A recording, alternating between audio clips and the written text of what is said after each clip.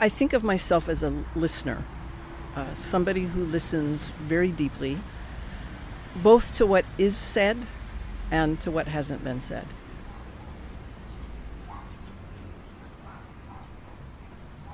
For me, our conversation is the canvas for us to co create.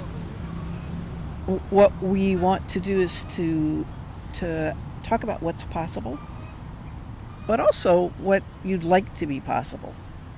And then, very important to me, is also what do we want to exclude from the journey that we're going to take together. Conversations emerge out of listening, they come out of me listening very deeply and then clarifying whether I've heard it correctly. Me identifying what's been absent from the dialogue or absent from the conversation. And me being able to hold the space for both of us to be silent.